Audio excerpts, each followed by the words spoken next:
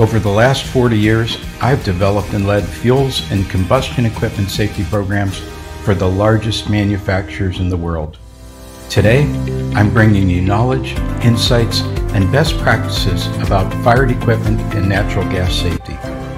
Over the next few minutes, you'll get the kind of practical, real-life explanations that I've become known for.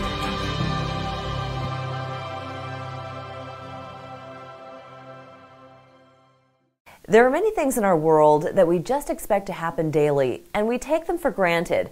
We have factories that make steel, we have refineries that make our gasoline, and we have power plants that generate our electricity. We don't think about these kinds of abilities unless something goes wrong. And when things do go wrong, it's usually a very tragic event. People are usually hurt, and quite often, they perish. Today, I'm interviewing an award winning engineer who spends his life working to prevent these kinds of disasters. That engineer is John Puskar. John, thank you for taking some time out of your day to help us all better understand how horrible industrial disasters can be and what kinds of things can be done to help make sure they are not repeated. Thank you, Layla. It's a pleasure to be here and have a chance to explain some of my experiences and to share some of my knowledge. John, we were just reminded last week with the collapse of the condominium building in Florida about the kinds of disasters that engineers are called upon to investigate. I'm sure you've been following this incident in the news. Can you give us some thoughts about what happened? Yes, Layla, that condominium collapse in Florida was a terrible thing. Now, I'm not a civil or a structural engineer, so I can't directly address the root causes of the failure. But what I can address is the crisis of conscience that I'm sure the engineer who prepared a report a few years ago about the condition of the building faced. I've been down that path a number of times. Many of us in the profession have been as well. It's quite often the case that we're called upon to provide oversight to large, sophisticated projects or to inspect equipment where it's expected there's some kind of a problem. And oftentimes we have to deliver bad news. That's what I kind of call the dark side of engineering. It's something that they don't really tell you about in school. It's something that you kind of have to develop a skill for. It's an art. And even then, I'm not so sure that I have all the right answers. It's been kind of an arduous path to get to the point where I'm at right now. Many times in my career, I've had to tell people things they really didn't want to hear. They've hired me to evaluate things and to give an objective opinion, but then quite often when that opinion is given, it maybe doesn't fit with a budget or a schedule or even with a career path. It's made for at times a loss of projects, a loss of contracts, a loss of friendships. I've had to completely adjust my attitude towards what projects I'll take, the kinds of people I'll work for, and cultures where I know I fit and cultures where I know I don't fit. So I guess you're not talking about the technical parts of the job. You're actually talking about the human aspect.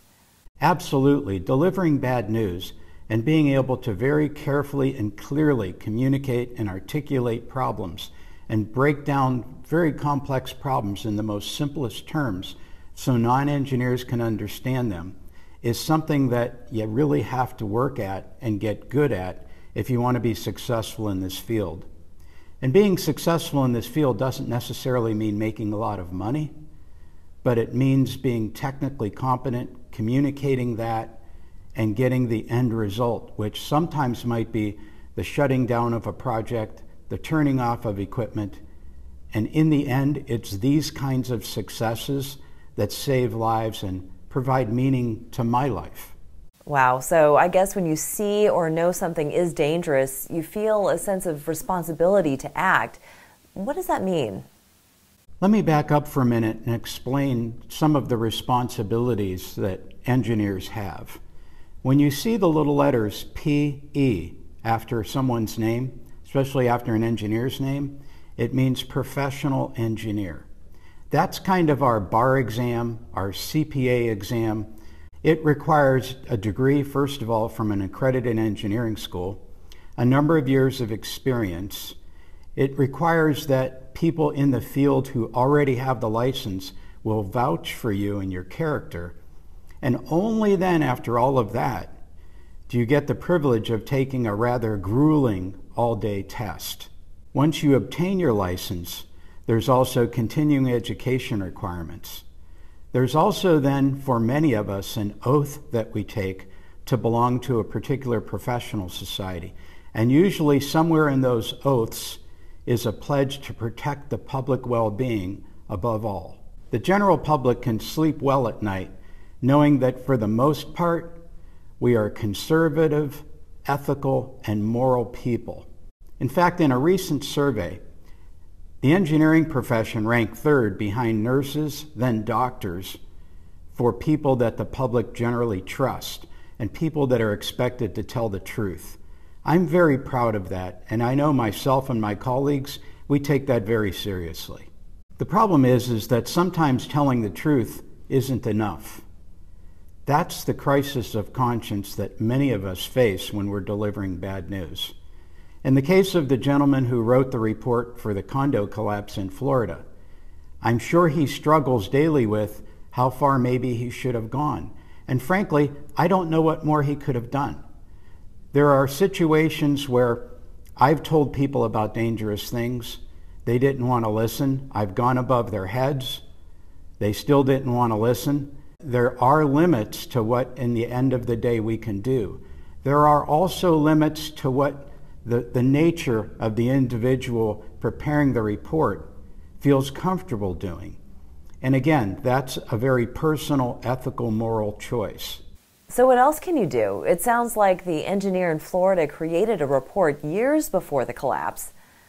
Well, that's the tough part, and there is no right answer. Let me give you an example of an extreme case. A good friend of mine who was a Vietnam veteran when he got out of Vietnam, he became a mechanical engineer. He worked for a factory here in town, I won't name the name, but they made parts for helicopter engines. Some of the same kinds of engines that took him to his special forces operations in the jungles of Vietnam. He knew very well how critical getting in and out of landing zones was in Vietnam. He happened to be a quality control engineer. He noticed over time that some of the manufacturing processes just weren't quite cutting it. On the test stands for some of these engines, the performance was dropping off. He informed his management team about this, and they did nothing. They did nothing and hid the problem over and over again. Having firsthand knowledge of what this could mean out in the field when you're relying on that helicopter to save your life, he had no choice but to become a government whistleblower. He knew the consequences very well of what he was doing. He immediately got fired, of course, and then for years he could not get reemployed. He could never use that employer again as a reference. It was very bad for my friend. His house got foreclosed. He stood in the street passing out flyers to the people at the sheriff's sale, letting them know that this was the home of a veteran. He eventually got a settlement. It was, however, many years of hell for him and his family. I admire what he did. Not many people would ever have done what he did. I know that he saved lives. This is an example of a very courageous engineer. Not everyone has that much courage. I don't know if I would have that much courage. I admire my friend for what he did. This is kind of an extreme example of what, in some cases, engineers feel compelled to do. Wow, I guess I never thought about engineers as our protectors for so many things that help us function normally. People have to be able to trust us. I've been escorted out of facilities where people wouldn't listen, and frankly, I wouldn't shut up or stop. I've been asked to leave the island of Puerto Rico after I was working at a drug factory, and I found people doing very dangerous things with boilers that could have easily caused an explosion. And after telling the plant's management team about it and still not getting any response, I had to tell the corporate office that had hired me. Everyone was very upset. And again, I was asked to leave, and it was strongly suggested that I never even come back to the island. I now tell people that I can only do work for them if they'll accept certain ground rules. I tell them up front that If I go there and do my job and look at their equipment and I find something very dangerous, I'm going to ask them to turn the equipment off immediately. So I try to schedule these things with them so that if there are dire circumstances found, they can accommodate that request without a lot of difficulty. So, the thought that engineers running around doing technical things is apparently only part of the story. I guess I never thought about the communications part. There's a spot in the engineering world for everyone. However, as most engineers grow in their careers, they eventually get more responsibility. And with that responsibility means that you have to develop that art at delivering bad news. You have to communicate effectively so that hopefully you gain the confidence of the folks you're working with and they actually want to take action. It's an entirely different skill set that's not taught in school. Again, it's a skill. Skills take lots of practice.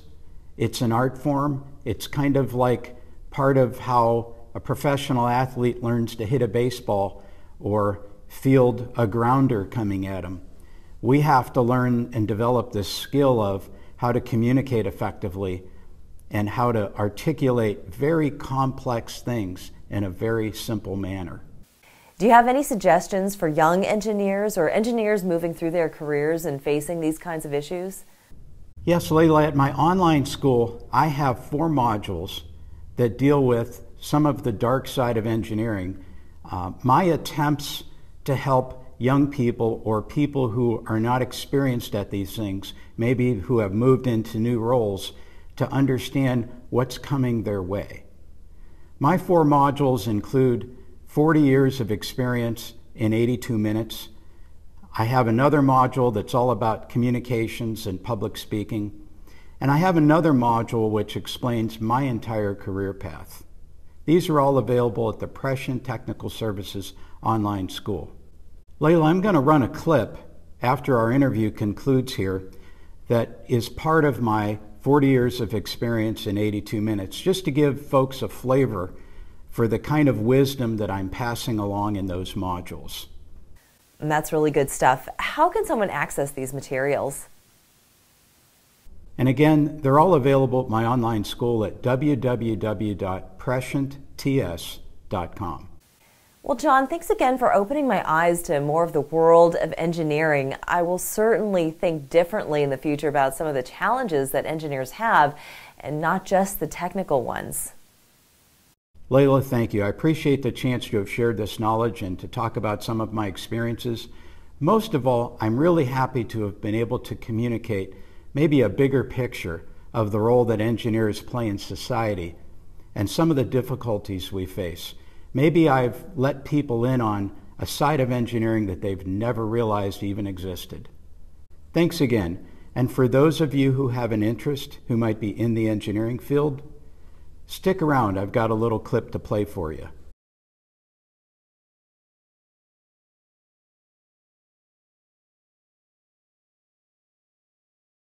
Okay, well, now that we understand a little bit better whether or not your current position is threatened and how so, Let's move forward with the three most important things that'll define your future in the engineering workplace.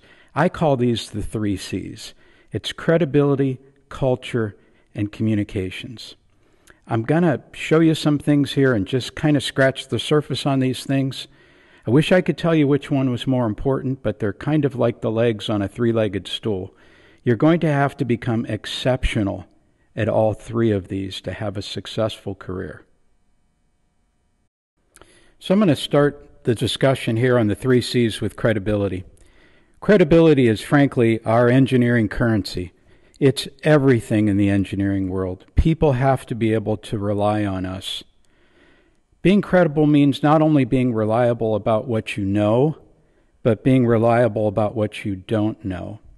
So Make sure that if you don't know, you don't guess, you don't make things up, don't assume, be factual, tell people, I don't know.